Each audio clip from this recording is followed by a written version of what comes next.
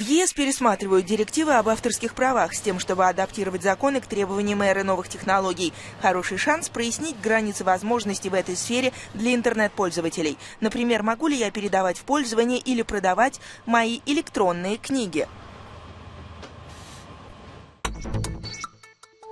В отличие от привычных нам бумажных книг, продавать или передавать в пользование другому лицу ваши электронные книги нельзя. Все дело в том, что европейское законодательство различает традиционную и цифровую продукцию. А можно ли делать резервные копии, к примеру, DVD-дисков?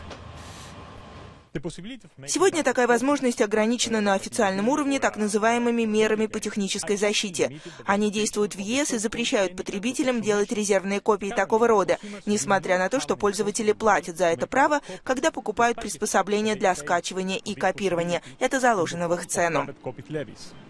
Могу ли я использовать свою игровую приставку как компьютер, установив на ней операционную систему?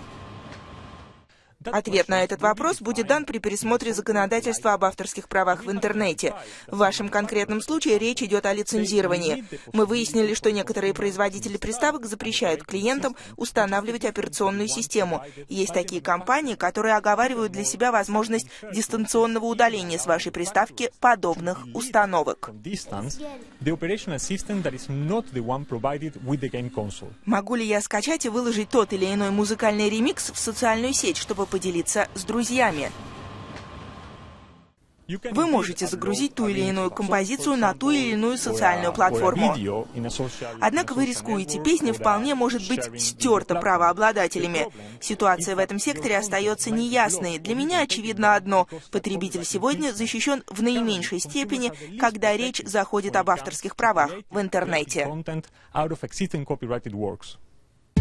Хотите задать вопрос? Заходите на наш сайт или наши страницы в социальных сетях.